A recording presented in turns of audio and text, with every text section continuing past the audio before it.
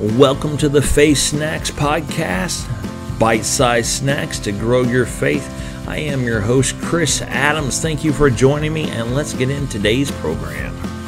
We are back with the last installment of How to Read the Bible the Right Way Principles for Bible Interpretation. And today we're going to look at Rule 11 and 12, Principle 11 and 12. And I just want to say thank you for sticking with me because, like I said when we first started, this can get kind of boring, but it is very needful because this is where lots of people get off and they misconstrue what the scriptures say, they get deceived, and this will help you stay the course and stay and believe exactly what God wants us to believe. So, without further ado, let's look at principle number 11, which is the principle of emphasis. And this principle is to place proper emphasis on the scripture and avoid error through overemphasis.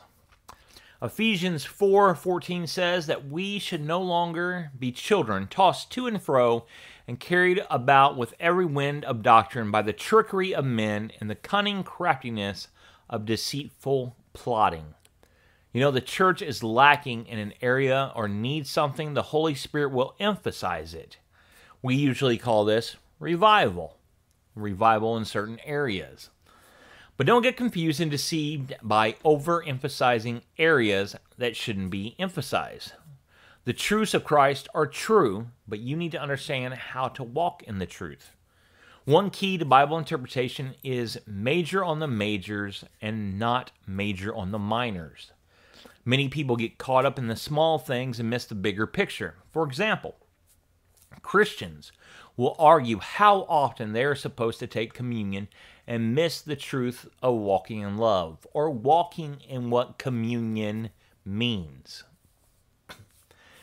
Emphasize the truths of the Bible that need to be emphasized and not the truths that are minor truths. Yes, study out 1 Corinthians 13 and draw all the details out of it, but don't do the same thing for Matthew 1:10 which says Hezekiah begot Manasseh, and Manasseh begot Amon, and Amon begot Josiah. You can study it out, but don't major on it. It's not something that's supposed to be majored on. There was an internationally known minister, and let me tell you this, in a meeting um, a few years ago, who the Lord told to make one correction. One correction, that's it. And his ministry would skyrocket course, you know, he never figured out what that one thing was, but the Lord showed another minister. This is how I heard it. Showed this other minister what that one thing was.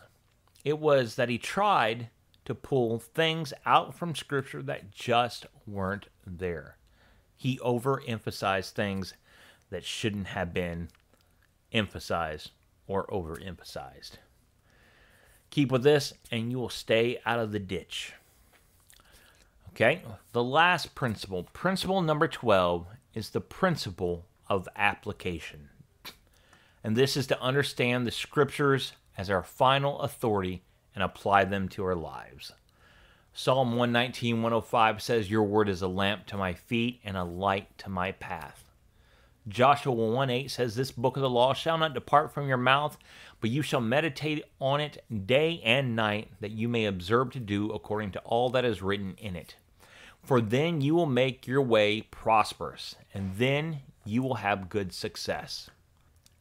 We must understand that our Bible study, our Bible reading time is not finished until we settle the fact that the Bible, the Word of God, is the final authority in our life and understand how to apply it and walk it out in our life. Our understanding of the Word is not complete until there is evidence of it. That evidence is you walking it out in your life. Your faith must be in the Word of God, not someone else's experience. The Word works for them because it has come alive in their life, and faith was created, not because they are someone special. Your experience has to be based on the Word of God.